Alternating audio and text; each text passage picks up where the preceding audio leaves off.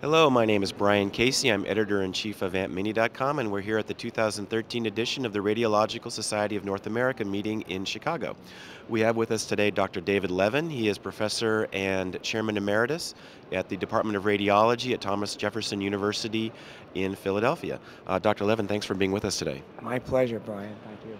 So, a lot of uh, discussion here at this meeting about where radiology is going. Um, what's the future of radiology? What, what are things going to be like in five years, ten years? How is especially going to change? Uh, can you share some thoughts on that with us? Yes, I uh, think there, there certainly are a lot of threats out there. There's no doubt about that. Uh, but I also think there are a lot of things that we as radiologists have to do. We have to, we have to basically change the way we do business. We have to change our culture. Uh, so, for example, um, I think one of the things that is very Im important for us to do is to offset or refute the notion that some people have that uh, radiology is just a commodity. You know, we've all heard that. Uh, there are a lot of people out there who believe that.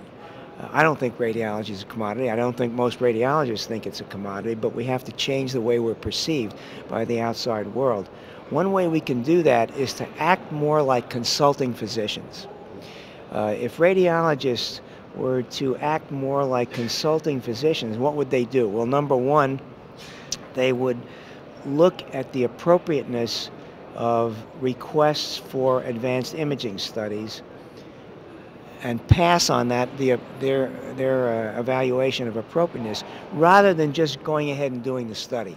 That's basically what we do now. And a request for an imaging test comes in, a CT scan or an MRI, we just go ahead and do it. We don't really think about whether it's appropriate or not.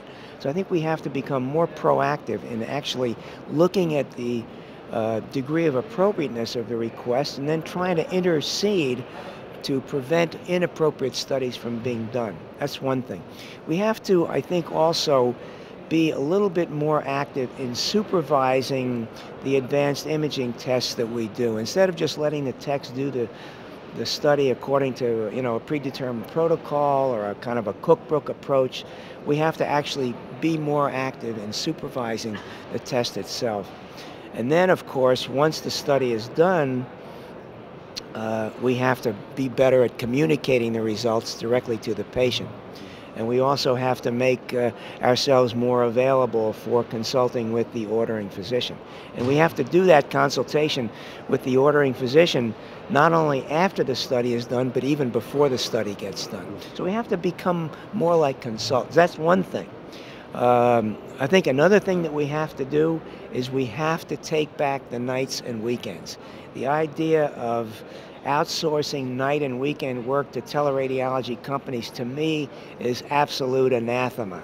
I think we're just shooting ourselves in the foot by doing that. We have to take that back. And you've you've really been pretty vocal about uh, about this over the last couple years, and, and it, and it kind of seems like the idea is getting some traction. I hope so. I think it is. I think uh, I see more and more practices taking back their night and weekend work and I would like to think that some of the things I've talked about have had some influence on that. Now, to go back to this idea of being a consulting physician, a physician's physician, um, do you think it's going to be hard for some radiology practices and some radiologists to break out of the mentality, the kind of the bunker mentality of, of you know, they're, they're in a dark room all day, um, they're they're just you know grinding through all the studies. I mean, is it going to be hard to, to, to break that habit?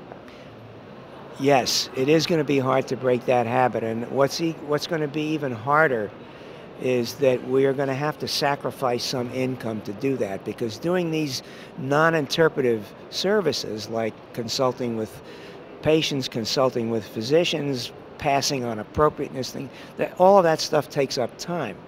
Uh, and by sacrificing the time away from interpreting, we're also going to have to take a, some, somewhat of a cut in income.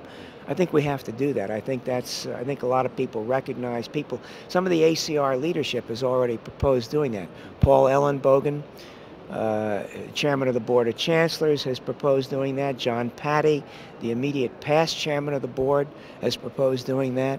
Geraldine McGinty, the uh, head of the Economics Commission of the ACR, she has proposed doing that. So a lot of people in leadership roles at the ACR have already proposed that we have to do more in the way of uh, uh, acting like consulting physicians at the sacrifice of some degree of income. Now, another thing I'd like to I'd like to mention, uh, talking about you know radiologists being the doctor's doctor, uh, is what I like to call the 90% rule.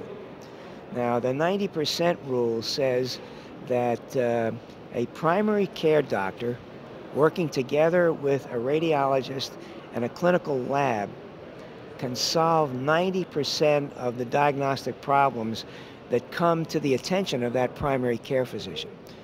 In other words, the primary care doctor doesn't have to refer the patient to a specialist until he makes the diagnosis. And the way he makes that diagnosis is by using his radiologist and by using his clinical lab. Those three things working together can, I believe, make 90% of the diagnoses that come their way. And that might actually end up uh, increase, uh, leading to an increase in the use of diagnostic imaging rather than a decrease. All right, very good. Well, some great comments, some great advice. Thank you for being with us today. My pleasure. All right, signing off for AuntMinnie.com, my name is Brian Casey.